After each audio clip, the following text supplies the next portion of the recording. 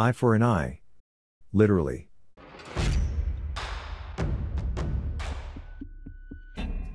If you like true revenge stories, you found the best place for your vengeful needs. In this episode, bullies inflict pain on their victims and enjoy this. They also enjoy this if they receive it back? Let's find out. We start off with a bridezilla surrounded by vengeful friends. Followed by a bully who sleeps with his victim's girlfriend. Assistant takes advantage of a disabled girl and abuses her. Lastly, a bully beats up someone with mental health issues, but meets his anti-hero.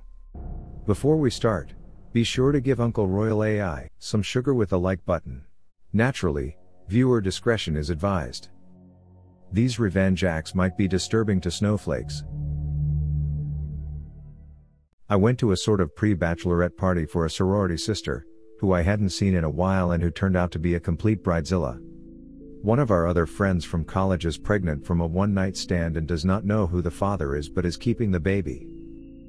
Bridezilla figured out that she is going to be about 8 months pregnant at the wedding and wouldn't let her be a bridesmaid.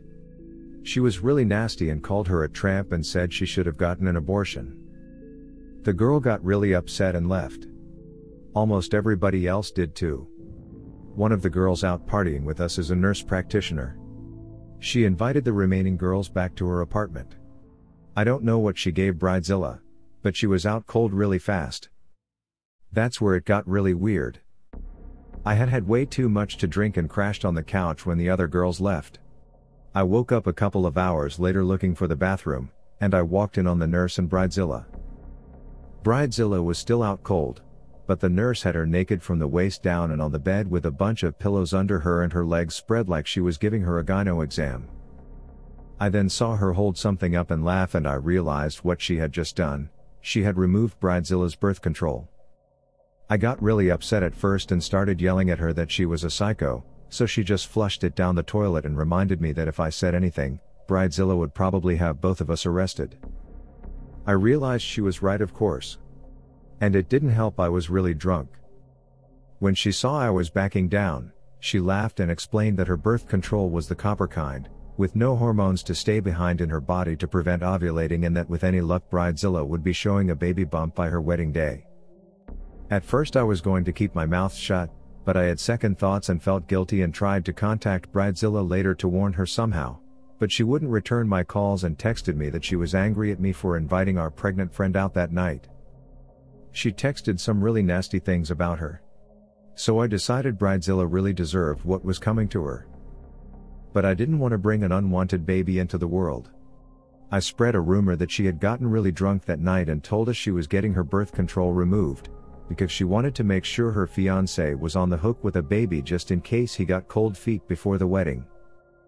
Word got back to him, and he insisted on checking for her strings himself and then dragging her to the walk-in clinic when he couldn't feel them. By the end of her exam the wedding was off. Word is she just got a D and C. So not only did we get revenge on her for being a total doo-doo, we also saved a nice guy from a bad marriage. I sexy timed his brains out last weekend. He deserved it, and so did she. I have had an on off again relationship with this girl since junior high, we've constantly been in each other's lives, even to this day we still talk. Let's call her Lucy. I thought I was in love with her, shocker I wasn't, but in high school things got pretty serious between us. The more serious we got the worse we treated each other when we fought. It was the most toxic relationship I have ever been in but we're actually great friends now. At the time I was working stock crew at the mall toy store, sometimes it was a early morning shift, sometimes it was overnight, so my sleep schedule was all messed up. We were dating and sleeping together pretty regularly my entire senior year. She had her circle of friends and I had my own, they rarely intersected. Enter Prick Kyle. Your typical bully. Now Prick Kyle gave a bad name to all other monster chugging, drywall assaulting Kyles. He was physically and mentally abusive to his girlfriend, who became his wife later on. He manipulated his friends into letting him walk all over them, Got one girl hooked on pills after he got her pregnant so she would be forced to give the baby up, just a next level scumbag. Kyle was a part of both our circles. He was friends with a few acquaintances I had, Lucy was pretty close to his girlfriend. Her name was Hannah. Lucy and I had just had a really bad fight a few days before and had made up in our usual way. As I was getting ready to go to bed for work the next morning, my phone went off. It was a text from Kyle followed by three pictures. One nude of my Lucy alone, one of my girlfriend and his, and the last one only half loaded, but it was clearly a picture of my girlfriend giving him a oral present. I was furious, but as I was already graduated, I wouldn't run into him again to take my rage out the traditional way so I just said forget it and moved on with my life. I was still mad at Lucy for cheating on me again, so we fought it out a few times and eventually made up when she told me the whole story. We both cheated before this multiple times, so the revenge not based on that. Kyle did me wrong here. Kyle had told her I was sleeping with his girlfriend's sister or something and that this was how she should get back at me. Now was it petty and dumb? Absolutely. But she wasn't so bright and the story wasn't so far fetched that she didn't believe him. She told me that since it was crap on Kyle's end, she was done with both of us, we went on with our lives. A few years go by, Lucy has moved to another state, but we still keep in touch and out of the blue. Kyle's wife hits me up on the Book of Faces. Seems karma didn't forget about me. We talk about how life has been and whatnot, where we live and such. Turns out she's just down the street from me. We keep talking every so often when she texts one day asking for a favor. I'm not working that day and bored out of my mind, so I oblige and run a pack of smokes down to her, since she's out and can't get more because of her kid. I get to her apartment and we hang out for a bit talking. We head out to the patio for a cigarette, and in the daylight, her shirt is almost completely see through. I make a offhand comment about it, and without a second thought, she pulls her shirt off. We go back inside and go to town on each other on her and Kyle's bed. We keep the affair going a few weeks then just kinda stop. At this point I felt my revenge was complete. I had this guy's wife on his bed and he want no till they get into another huge fight. I wipe my hands of the drama and go about my day. Fast forward another few years, my band had just finished a huge show before we went on tour and as I'm doing the meet and greet thing at our merch booth, I get a Facebook message from Kyle. Kyle was in the hospital, he said it was serious and had a question. Did you ever spend time with my wife? I'm looking at this text thinking of all the ways I could mess with his head, but decided to probe a little by saying, I think that's something you should ask her first. He replies, I did and she told me something happened at our apartment. I need to know if it's true. So I think for a second and send him two pictures we took, one of her giving me an oral present, and one of the aftermath. He just replies with, thanks and blocked me. I think good, now the prick knows what it feels like and go about my merry. But this story isn't done yet friends, not by a long shot. See unbeknownst to me, Kyle and his wife had another kid around 9 months after our affair and it wasn't Kyle's. From the pictures it was obvious that we didn't use protection and there was no pull-out game. So he immediately suspected it was mine. Hannah knew better since she was already pregnant when we started, but just barely. Kyle viewed me as his enemy ever since high school because I stole all of his friends.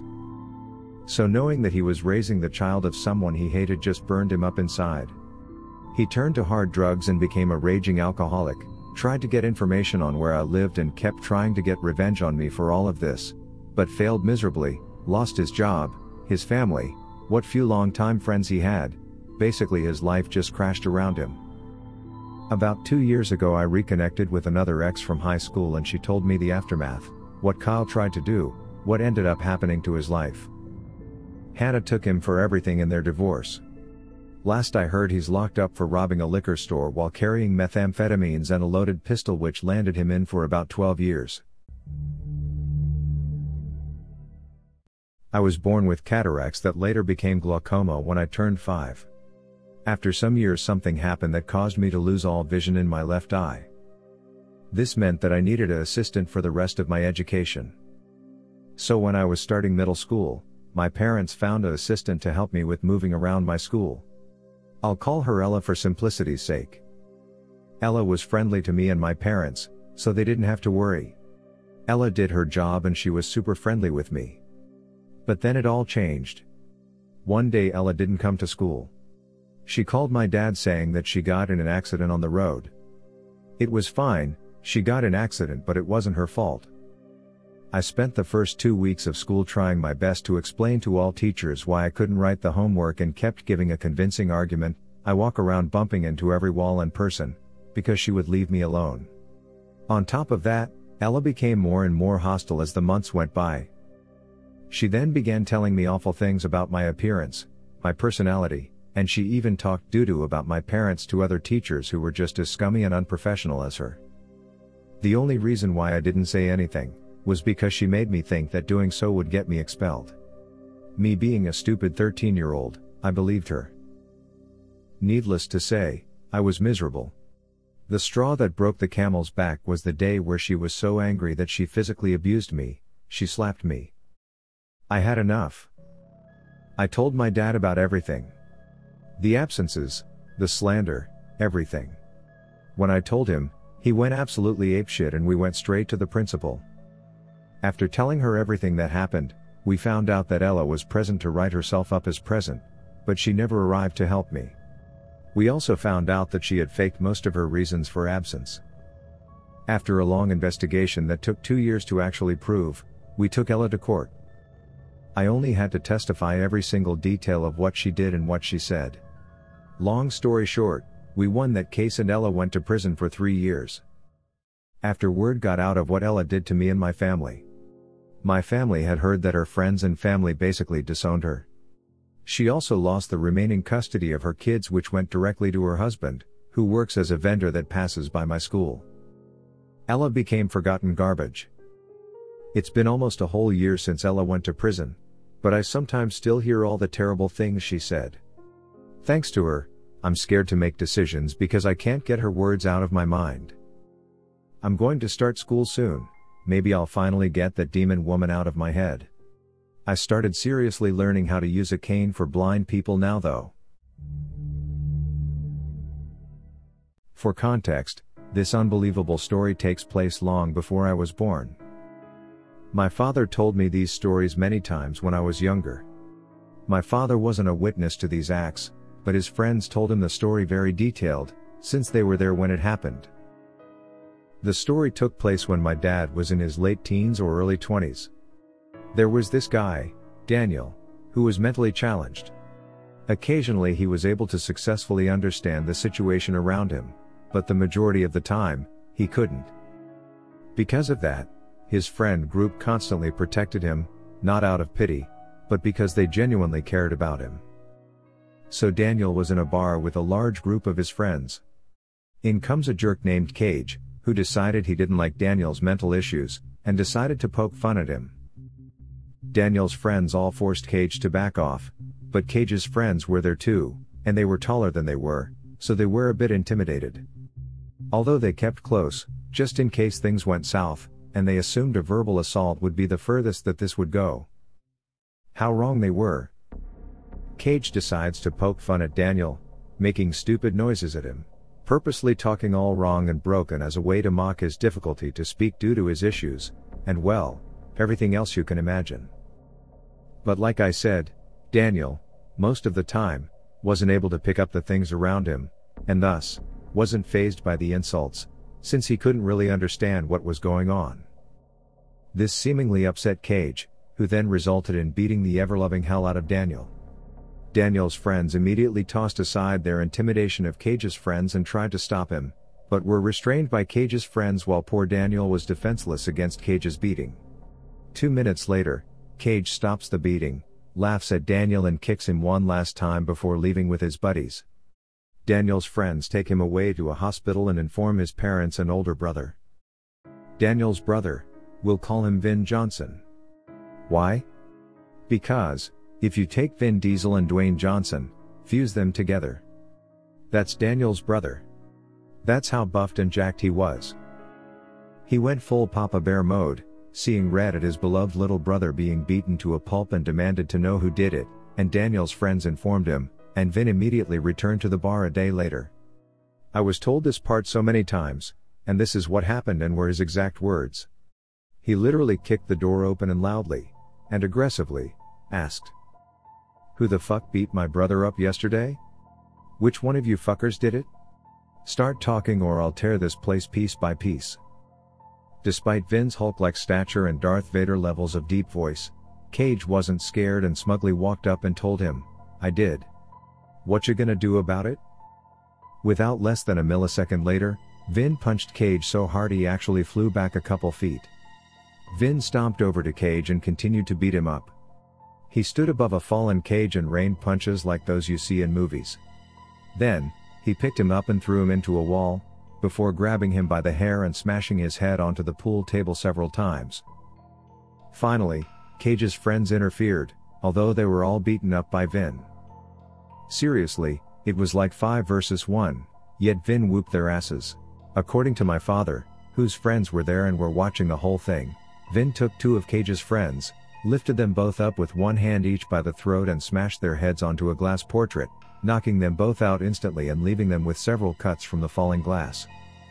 Then, Vin finished off Cage's remaining friends before returning his attention to Cage himself, who was literally dragging himself across the floor in fear and as Vin grabbed him by the collar of his shirt, Cage begged him to stop, but Vin sarcastically asked him if his little brother Daniel also begged him to stop, and Vin continued to beat the doo-doo out of him.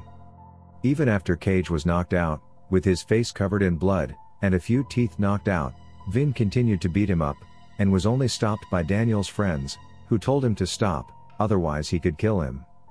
Vin actually responded with, I still don't see the problem. The bartender was watching, but knowing what a piece of doo-doo Cage was, decided not to do anything.